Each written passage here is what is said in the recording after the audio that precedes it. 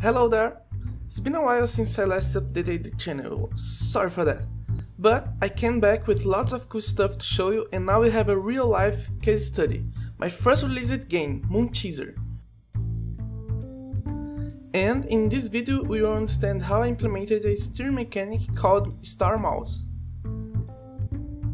We already saw how basic steering works. If you didn't watch the video, I will link it in the card and at the description of this video. Check it out.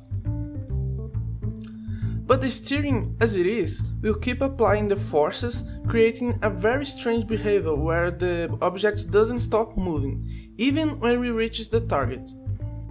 To solve that, some smart guys implemented a very simple solution. The object will move towards the target, but will slow down its speed until it reaches simultaneously the target and therefore the speed zero. To do that, we can simply set a threshold radius around the target which will be used as a factor for the division of the speed. So, if the current distance of the steering object from the target position is greater than the radius, it will be always at a radius of 1 to 1, but this will decrease as it gets closer and closer to the target after entering the arriving radius.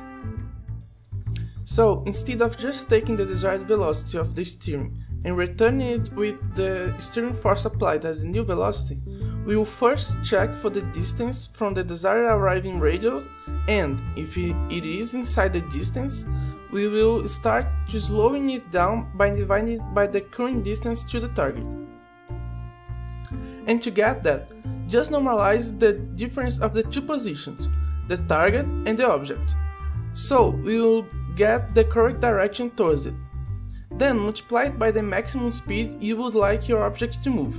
After that, multiply it by the current ratio of the distance and the radius. From now on, everything is just the same as the steering. Apply the steering force, then create the steering velocity and return it as the new movement velocity for the object. If everything goes well, that's what you get. Currently, my target is set to be the last location of a mouse click.